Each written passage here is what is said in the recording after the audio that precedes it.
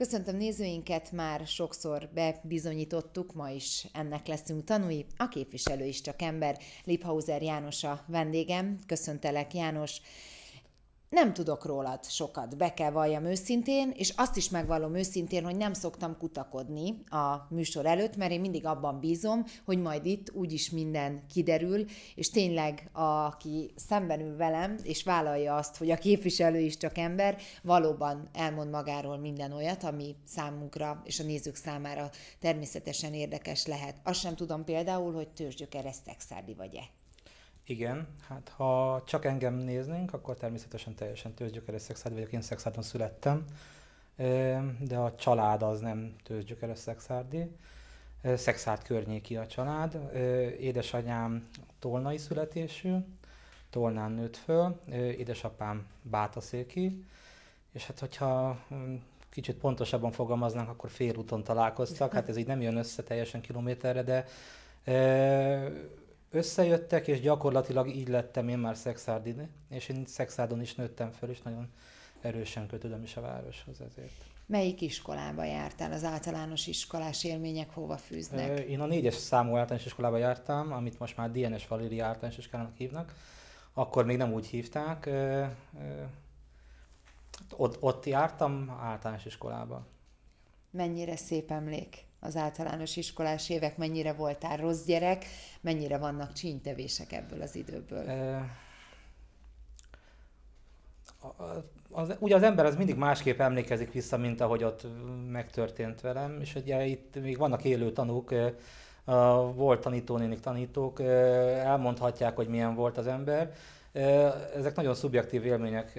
Én azt gondolom, hogy ugye olyan kettősség volt bennem, ami később is visszajön azt hiszem az életem során. Egyrészt nagyon magamba zárkózó, magamnak való gyerek voltam, sokat voltam otthon, sokat olvastam. Másrészt meg iszonyú nagy hülyeségekben is benne tudott lenni az ember, mindenféle rosszaságban. Biztos rossz gyerek is voltam, biztos, hogy kevésbé rossz gyerek voltam. Egy biztos, hogy nagyon sokat beszéltem. Ezt ugye el szokták mondani, hogy sokat járt a szám, nem tudtam visszafogni magamat, ha valami fontos volt, és el akartam mondani, akkor azt elmondtam. Néha akkor is, amikor annak a, a, a magamra ható hatása rosszabb volt, gondolkodnom kellett volna előtte, mielőtt megszólaltam, de ezt úgy szokták mondogatni az embernek. Ugye az ember felnőttél válva próbál a hibáin javítani, és sokat figyelni kell az embernek, nekem is például nagyon sokat kell arra figyelni, hogy mindig csak akkor szóljak, amikor fontos mondani valója van az embernek, ne akarjon mindenki elé kerülni. És azt gondolom, hogy ez a politikában még fontosabb, hogy az ember pontosan tudja, hogy, hogy az ő mondani valója, az ő személye fontossága hol van, és ne akarjon mások elé mindig befurakodni. Nagy tanulság tehát a gyermekkorból, és hát mi van a tinédzser évekkel? Általános iskola után hol folytatta a tanulmányaidat? Én a Garai János gimnáziumban érettségiztem. Ez teljesen logikus lépésnek tűnt. Két oknál fogva. Egyrészt, mert az ember nem tudja 14 éves korában eldönteni, hogy pontosan mi is akar lenni. Én se, és ilyenkor kap még négy évet. Másrészt az is természetesnek tűnt már akkor is, hogy az ember persze tovább akar tanulni, akkor ez csak a gimnáziumban lehet. Így bekerültem egy gimnáziumi osztályközösségbe, ami azért, azért volt sajátos, mert hát most össze kéne pontosan számolni, de azt, azt gondolom, hogy az osztálynak jó fele, az vagy általános iskolai osztálytársam volt, vagy évfolyamtársam volt az általános iskolában. Tehát az a nagy ugrás, ami általában az általános iskola és a gimnázium között szokott lenni az ember életében, az nem volt akkora nagy szakadás, törés, mert hát rengeteg barátság, megismert kapcsolat folytatódott teljesen, zöggenőmentesen tovább a gimnáziumban. És hát én úgy emlékszem vissza, megint csak persze az ember szubjektív, úgy emlékszem vissza, hogy nagyon jó osztályközösségünk volt. Persze a mai eszemben azt is tudom, hogy, hogy mi ugyan jól éreztük magunkat benne, de lehet, hogy voltak olyan osztálytársaink, akikkel nem voltunk annyira jóba, ők nem biztos, hogy ugyanezt élték volna meg, de volt egy jó 15-20 fős mag az osztályban, aki úgy azért nagyon összetartott együtt. Sokat jártunk le például Domboriba a kempingbe, minden év utolsó hetében, tanév utolsó hetét követő héten, és a, előtte, tehát amikor a szeptember előtt az utolsó, augusztus utolsó hetekben egyikén le voltunk, Emlékszem az egész, hogy alakult ki, mentünk osztálykirándulásra, ami nagyon fontos élményt adó együttlét minden diák számára, azt gondolom, és, és, és be volt tervezve egy nagy Duna kanyari túra, és hát nem volt szállásunk az egyik éjszakára, és hát már ez is elég idegesítette az osztályfőnökünket, hogy akkor hát hogy tudunk úgy elmenni két napos osztálykirándulásra, két éjszakás, három napos osztálykirándulásra, hogy csak egy éjszakán van szállásunk, és hát mondtuk, hogy semmi probléma, megyünk kempingezni, minden, és hát ez is már nagy tehertétel volt, hogy egyre rá tudtuk beszélni, a tan- tanárokat, hogy elengedjenek, hogy elinduljunk úgy osztálykirándulni, hogy visszük magunkkal a gimnázium sátrait, de nem volt szerencsénk, mert egy óriási felszőszakadás jött, és ezek után már nem volt élő ember a társaságban, képes lett volna meggyőzni, hogy akkor nekünk ott most nekünk sátorozni kéne. Azt hiszem lányfaluban sátoroztunk volna a kempingben. Na mindegy, de az annyira fő voltunk háborodva, hogy, ez, hogy elrontották a mi sátorozásunkat, hogy ennek örömére azonnal Hát ugye ez az érettségű szünetben volt, mindjárt vége volt a tanévnek, rá két héttel mentünk ki Domboriba, és ebből egy olyan fajta, majdnem, hogy hagyományos rituál lett, hogy ebből a közösségből rendszeresen kimentünk, és ez két-három éven keresztül mindig megismétlődött. Ez azért egy elég szoros baráti kapcsolatot is jelentett. Ami a mai napig is feltételezem tart. Hát igen, sok kapcsolat megmarad. Persze az idő próbáján múlik, hogy milyen erős volt egy barátság akkor. A távolságok, az, hogy máshova sodorja az ember az élet, szétszakadnak kapcsolatok, ez sokat próbál. Másrészt azért én nekem azt el kell tudnom mondani, szerintem a városlakói úgy is tudják, osztálytársaim közül szintén politikusok lettek ketten, hárman, és hát akkor nagyon jobban voltunk, és azt gondolom, hogy hogy hát fura. Hát nehéz erre ezt mondani, hogy most jóba vagyunk, mert... Ez már egy más viszony. Egy más viszony, de egy olyan fajta viszony, ami nem mérhető más politikusokhoz való viszonyomhoz. Nem biztos, hogy kevésbé értek velük egyet, nem biztos, hogy jobban egyet értek velük, nem biztos, hogy hogy ö, ö, jobban kedvelem őket, vagy kevésbé kedvelem őket az adott szituációval, amikor éppen élesen ütközünk, de az biztos, hogy hogy csomó olyan dolog köt össze minket, amit nehéz levetkőzni. Nehéz azt mondani, hogy, hogy semmi közöm nincs ehhez az emberhez. Egyébként politikailag persze az ember nyugodtan kijelenteti, hogy ehhez a dologhoz nekem semmi közöm de ahhoz a konkrét emberhez, akivel mondjuk együtt élte a személyiségfejlődési legfontosabb éveit, azért ez azért összeköti. A Garai gimnázium után elhagytad-e a várost, merre folytattad tanulmányaidat? Szombathelyen végeztem én történelem könyvtár szakos tanárként.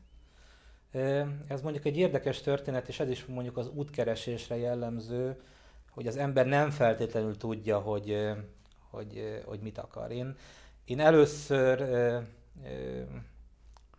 a képzőművészeti főiskolára felvételiztem.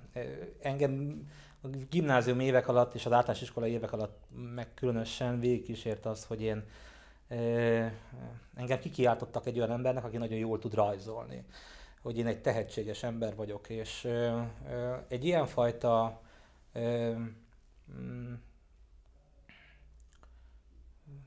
kapcsolat, hogy egy ilyenfajta szituációban az ember, főleg ha még fiatal, nem biztos, hogy pontosan tudja magát hova rakni. Azt nehéz lenne mondani, hogy nincs valami fajta kézügyességem, de azért azt ma már őszintén tudom mondani, hogy nincsen egy olyan fajta képzőművészeti tehetségem, ami az embert egy művészé, egy alkotó emberét tudta volna tenni. Rajzolsz a mai napig is? Sokat rajzolok a mai napig is, és nagyon sok kapcsolatom megmaradt a, a képzőművészethez az élet során. A barátaim között nagyon sok a képzőművész. A feleségem keramikus, tehát ha akarod, akkor ez a dolog egy olyan fajta affinitást mutat, ami, ami megmarad az ember élete során, de például látom azt, hogy a feleségemben sokkal több a kreativitás, én lehet, hogy valamit szebben megrajzolok, de abban több az ötlet, amit ő csinál. Tehát az embernek ezt felnőtt fejjel könnyebb belátni. Egy kamasz fejjel ezzel szembesülni nem volt könnyű, és utólag azért azt gondolom, hogy szerencse volt, mert mert nagyon rossz útra tud kerülni az ember élete akkor, hogyha egy olyan dologra, egy olyan sínre kerül rá, ami, amiből később kiderül, hogy nem vagy elég tehetséges hozzá, nem vagy elég jó abban, amit te akarsz csinálni. És, és hát egy ilyen kitérő után lettem én Szombathelyen történelmi könyvtárszakos tanár, mert Szombathelyen volt egyedül egy olyan főiskola, ahol a történelem mellett rajzot is tanítottak. De miután a képzőművészeti fejlővételi nem sikerült, arra máig büszke vagyok, az első körön azért úgy jutottam, de akkor dönteni kellett, hogy, hogy akkor hogyan tovább, és akkor ha már ott vagyok, ott, akkor válasszak a történelem mellé valami szakpárt, és akkor jött a könyvtár, hogy akkor legyek könyvtáros. Igazából az ember akkor még nem gondolta, hogy ő könyvtáros akar lenni.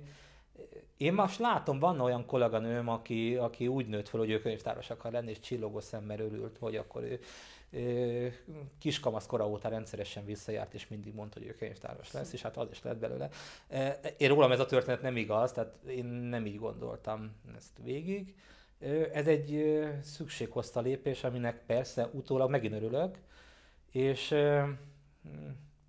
az élet mindig visszaigazol nagyon sok mindent ezekből a döntésekből, hogyha jól sikerült a döntés persze. A feleségemmel való megismerkedés után második héten katalogizáltam az otthon levő kazettáit, rendbe raktam a könyvtárat, és mondta, hogy most látja, hogy én könyvtáras vagyok. Hogy miért csináltam, máig nem tudom, de valahogy úgy benne volt az emberben, hogy akkor legyen rend, rakja körülötte. Ezek a dolgok nem, mi az, hogy ez, az a kazetta ez itt szét van, és annak a tokja nem ott van, akkor azt tegyük bele. És hát végül is ez, ez azt jelenti, hogy az ember valahol csak saját magához talált vissza.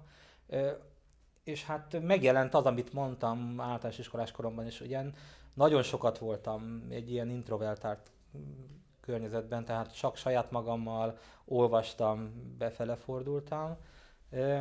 És ez egy tipikus könyvtárosi személyiség, azt szokták erre mondani. A szombathelyi évek után rögtön visszajöttél Szexádra, vagy esetleg felmerült benned az is, hogy máshol kezded el az az a igaz... nagybetűs életet? Az az igazság, hogy én a könyvtárba kerültem mindjárt, azonnal ide a egy könyvtárba, és itt nekem ez egy jogfolytonos történet. Én hát most már megint össze kéne számolni, nagyon régóta a könyvtárban dolgozom, és nem nagyon... hagytad el soha? Igen, nem hagytam el soha, mert mindig a könyvtárban dolgoztam, de mindig csináltam mellette valami más. Tehát ez megint az, ami a gyerekkorban, hogy egyszer nagyon befele forduló gyerek, másszor meg minden hülyeségbe benne levő azonnal uh-huh. kifele menő. Nem tudom, ha csak könyvtárosnak kéne lennem, tudnám-e csinálni. Uh-huh. Nem tudom, hogyha nem lehetnék könyvtáros egyáltalán, az mennyire lenne jó, de így egyszerre csinálja az ember ugyanezt, hogy részt vesz a közéletben, tanít egy főiskolán. Ezek a dolgok azért azt jelentik, hogy egyrészt tartozok valahova más már több mint tíz éve, másrészt azért mindig el is elég kalandozik az ember onnét, hogy akkor csinálja ezt is, csinálja azt is, és sose nem tud megmaradni a fenekén, nyugton, hanem mindig kell valamit mást is csinálni, hogy, Hát, hogy miért, azt nem tudja az ember. Legalábbis én most nem tudom megmondani, hogy miért. Valószínű szükségem van rá, különben nem csinálnám. A magánélet az hogyan alakult a karrier mellett, tehát ugye elkezdtél dolgozni, a könyvtárban mellette mindig megvoltak azok a pluszok, amik teljesen kielégítettek, úgymond. A magánélet az közben hogy zajlott? Hát ugye ilyenkor mindig jönnek a, a, a főiskolán, a baráti társaságokban mindig megy az ember, kóborol, keresi kapcsolatokat, keres embereket, keres új élményeket, és hát valószínű ez a régen meglevő képzőművészeti kötődés ez hozott össze a feleségemmel. Gyakorlatilag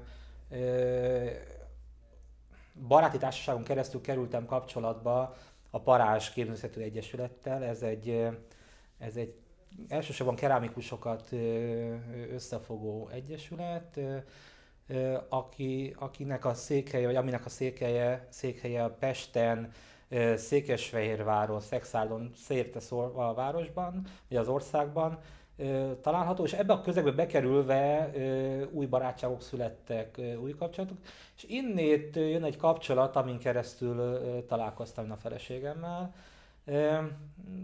Tegyük hozzá, hogy sokat köszönhetünk mi a Szexádi Csörgetói Rock Fesztiválnak, mert az igazán szoros kapcsolat az ott kezdődött, és hát most ez sajnálja az ember, hogy a mostani fiataloknak ez már nincsen meg, hogy nincsen csörgetó. Illetve van csörgetó, csak fesztivál nincs már mellettem. Nekünk ez sokat jelentett. Összehozott minket egyrészt ez a fajta közös érdeklődés, másrészt a zene, amiket közösen szerettünk, és hát így, így alakult ki ez a fajta kapcsolat a feleségemmel. Sajnos gyerekünk az, az még nincsen, bár hát az ember ugye mindent megtesz ezért, csak egy más történet. János, a politika iránt az érdeklődés az mikor kezdődött? Már lehet, hogy ott általános iskolás korban a szobák mélyén olvasandó könyvek között a nagy politikus életrajzai, politikusok életrajzai is megbújtak, vagy egyszerűen csak a közéletbe egyre jobban bekerülvén? Ez a kettő dolog, két nyomvonalús igaz. Egyrészt én ugye történelmtanár is vagyok, és a történelmi való érdeklődés az mindig is megvolt, és és a gimnáziumban is, amikor dönteni kellett, hogy hogyan tovább, akkor két dolog biztos volt az életemben. E, e, illetve hát ebből már csak egy biztos, a másik a feleségem révén maradt meg. E, ugye a képzőművészet mellett a, a történelem volt a másik. E, és hát e, a történelem az nagyon tág kategória, nagyon sok minden belefér. Az ember ugye, hogy miért kezd történelemmel foglalkozni, ez megint egy pszichológusnak való nagy tanulmány kérdése lehetne. Engem mindig érdekelt, és mindig, mindig keresett, mindig megtalált ez a téma, és mindig foglalkoztatott, de arra is rá kellett jönnöm az idők folyamán, hogy igazából engem nem annyira az érdekelt, hogy mondjak egy extrém példát, szándékosan extrémet, hogy mondjuk Kassaváros résztermelésében a mm, kora középkorban mit, mit történt, és eh, ez azért nem tudna lekötni, de az érdekelt mindig a történelemben, hogy hogyan működik az emberi társadalom. Hogyan kapcsolódik eh, össze a kultúrák, a, a szokásrendek, a, a hagyományok hogyan öröködnek át, eh, hogyan alakulnak ki új szokások, hogyan jön létre egyfajta új rend a világban, ami, ami persze már nem elsősorban és evidens módon történelem, hanem, hanem inkább társadalom, fajta más társadalomtudomány, és hát innét jön az, hogy én, én az eltén a szociológiát elvégeztem. Én a szociológiát tanítok, vagy pontosabban társadalom ismeretet tanítok a helyi főiskolán, ez viszont hát már olyan szintű kapcsolat, amiből tényleg csak egy rövid ugrás a politika, hogy ne csak gondolkodj róla, meg, meg, meg találd ki, hogy ez hogy van, hanem hát akkor nézd meg közelről, vagy esetleg akár csináld is.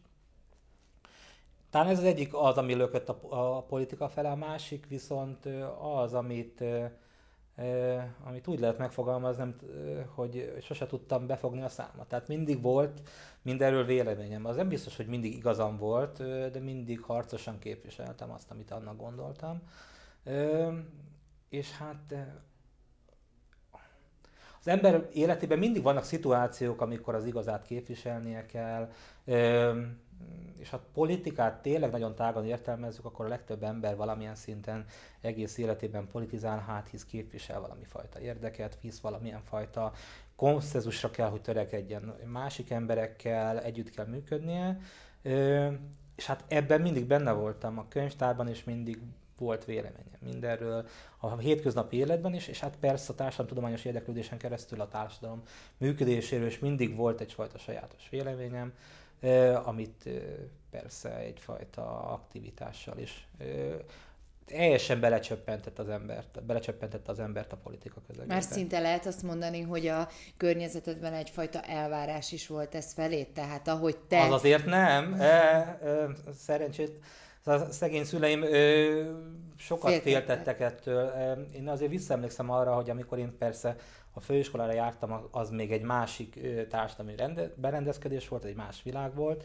Ö, de én valószínű akkor az akkori nyeretlenségével az ember nem vette annyira figyelembe a, a veszélyeket, akkor ténylegesen meglevő veszélyeket, de hát én a Szombathelyi Főiskolám kapcsán kapcsolatba kerültem a demokratikus ellenzékkel, most ugye nagy szónak tűnik, de hát én szamizatot hoztam szexádra, vittem vissza, amikor a szüleim ezt meglátták, akkor azt mondták, hogy gyerekem, mit csinálsz, az életet akarod tönkretenni, és hát mondjuk ezt egy 20 éves embernek az összes nagy öntudatával vissza is utasítja az ember mindjárt, de valamilyen szinten ez nem volt nagy ugrás, tehát a társadalmi érdeklődés az egyenesen lökött bele ebbe az egész dologba. Folyamatosan eddig azon gondolkodtam, hogy mi történik az országban, mi történhet, milyen forgatókönyveket lehet elgondolni, és amikor éppen megindult ez az egész folyamat, amit rendszerváltozásnak vagy rendszerváltásnak hív a magyar társadalom, és ott 20 évesen ott állva az egészben benne, ezen gondolkodva, ilyeneket tanulva, elképzelhetetlen lett volna, hogy ne legyek ott minden lehetőségen, ne járjak el olyan helyekre, ahova az ember ezt a fajta érdeklődést ki tudja előgíteni. Én gyakorlatilag az alakulása óta kapcsolatba kerültem az akkor létrejövő pártokkal, szinte mindegyikkel elmondhatom, hogy helyi szinten néztem meg, hogy hogyan jön létre ez, az, az a politikai tömörülés, és nyilván egy ilyenfajta közeg után nagyon nehéz azt mondani, hogy az ember nem, lesz előbb-utóbb politikus, aztán persze később meg is bánhatja ezt, vagy azt mondhatja, hogy nem volt jó döntés, vagy jó döntés volt. Jól érzed magad a politikában? Nem tudom, hogy mit válaszoltak erre a többi politikusok. Azt gondolom, hogy a politika egy iszonyú nehéz teher. Nagyon erősen igénybe veszi az ember személyiségét. Folyamatosan egyrészt reflektorfénybe állni, ahol ahol egyetlen egy rossz mozdulatot is félreértenek az emberek, vagy félreérthetnek az emberek. Bármilyen mondatod azon a keresztül alá kerül, ez egy folyamatos koncentrációt igényel. Másrészt ugye a politikában benne van az, hogy az érdekek ütköznek, és az érdekek ütközésekor konfliktusok keletkeznek. Ezeket a konfliktusokat el kell tudni viselni. Az embernek kezelnie kell tudni azt, hogy valaki azt mondja rá, hogy amit ő mond, az hazugság. Jobb esetben ennél rosszabbat is lehetne mondani, persze. Amiről zárójelben azt gondolom, hogy nem helyes, hogy az ember egy ilyenfajta hang nem felel indul a politikában. De hát ezek a, ezek a konfliktusok, ezek folyamatosan benne vannak. Nehéz a napi működés mellett mindig azt gondolni, hogy ez egy jó dolog. Mindig úgy fölkelni, hogy jaj, de jó, most már megint meg valaki azt fogja mondani, hogy megint hogy nézek ki, milyen vagyok. Amit döntöttem, az jó döntés, vagy rossz döntés. Az biztos, hogy nagyon nehéz viszont azt látni, hogy ott vannak a dolgok, és nem tudok beleszólni. Lehet azt mondani, hogy most például mindent háttérbe szorított? Tehát lehet azt mondani, hogy, hogy, hogy nálad most a politikai feladatok például sokkal ö, többet nyomnak a latba, mint például akár a könyvtárosi, vagy egyéb más, amit, amit, amit még csinálsz. Most olyan kérdést tett fel, amire azt gondolom, hogy kiki más választ adna a környezetemben. Nyilván a könyvtáros kollégáim számos esetben elmondják, hogy kevesebbet vagyok ott, ahol kellene lennem. Nem biztos, hogy mindig annyi energiával tudok a könyvtár problémájával foglalkozni. Felrólják ezt? Adott esetben? Hát konfliktus helyzetekben persze, persze. nyilván. Jó, adó. De gyakorlatilag az ember, ha egyszer elvállalt valamit felelősségteljesen, akkor az valahol a becsület kérdése, hogy akkor azt végig kell csinálni, és nyilván az egy külön mérlegülés kérdése, hogy akarja tovább, lesz ennek folytatása, hogyan gondolkodik a jövőről, amit persze megint nehéz megmondani, hogy most mit gondolna az ember, hogy akkor mit fog csinálni, de ezek a döntések mindig befolyásolják ezt, hogy az embernek mennyi szabad ideje van, mennyit tud a családjával, a barátaival, a hobbiaival, a mániáival Például foglalkozni. azok mik? Hát nekem elég egyszerű hobbiaim vannak. Én nagyon szeretem a zenét. Nem művelem sajnos, mert nem tudom, hogy botfülem van-e vagy nincsen, valószínű az, sose próbáltam így meg, de sose kaptam tételes zenei műveltséget, zenei hangszertudást. De azt például nem tudnám elképzelni, hogy egy hétig távol legyek bármifajta zenétől, hogy nekem ne legyenek meg azok a lehetőségeim, amik, amik arra szólnak, hogy valami fajta zenét hallgathassak. A, nagy katasztrófák egyik, ha elromlik a magnó otthon, vagy a, vagy a lemezjátszó. Hú, hát rengeteg sok kedvenc van, és az embernek a, az ízlés az folyamatosan változik. Azért maradnak állandóságok az ember életében. Én nagyon szeretem a blues zenét, ami, ami egy kamaszkori szenvedély, de a blues zenén keresztül én nagyon sok mindenhez eljutottam. Eljutottam a jazzhez, amit, amit az ember felnőtt fejjel egyre jobban megtanul értékelni, és egyre jobban szereti. Eljutottam a blues-tól egy másik vonalon keresztül a magyar népzenéhez, amit megint csak egy nagyon fontos dolog. Ezen keresztül, a jazzen és a népzenén keresztül az ember persze ott van mindjárt a komoly zenek közelében, és akkor gyakorlatilag az ember zenei ízlése az folyamatosan változik. Más füllel hallgat már egy zenét, akkor, hogyha sokat hallgatott, mint, mint, mint egyébként. De valószínűleg itt is kijön a könyvtárosi vénám, mert ha valamit megszeretek, valami együttest, vagy, vagy valamilyen előadót, vagy valamilyen zenét, akkor, akkor az összeset, és akkor az életművét összegyűjteni, a bibliográfiáját megtalálni, hogy akkor ezek hogy alakultak, mikor jött, hogyan jött ez létre, meddig tart, a létező ilalmakat begyűjteni róla, a lexinokonokban megnézni, hogy mi van. Ebbe persze nagy segítséget nyújtom már az internet, ahol, ahol szinte nincs olyan, amit ne lehetne megtalálni ha nem is mindjárt illegális módon letölthető formában, de legalábbis olyan információkat, ami az embert ahhoz segíti hozzá, hogy hol lehet megtalálni, mi ez, mit lehet róla tudni.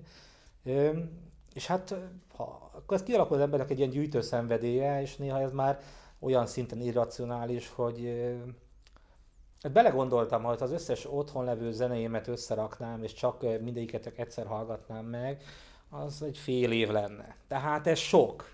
Ennyit nem hallgat az ember zenét, hogy miért van akkor meg ez a sok zene, ez, ez olyan, mint hogy miért van annyi bélyege egy bélyeggyűjtőnek, nehéz megmondani, hogy minek. Van, mert hogy kell, hogy legyen, mert hogy az ott legyen a polcon, és hogy levelhessem, és tudhassam, hogy ez az enyém. Ez egy, ez egy fontos, hát nem szenvedély, de egy fontos dolog az életemben.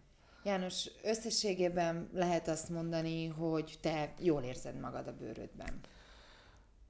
Igen, hát persze itt most a lámpák fényében meleg van, az ember kicsit kényelmetlen most érzi magát. De úgy általában az ember körül azt gondolom, hogy hogy rendben van, ha meg azt gondolnám, hogy nem, akkor hát rajtam a felelősség, én változtassak rajta, senki más úgyse tud helyettem ilyet tenni.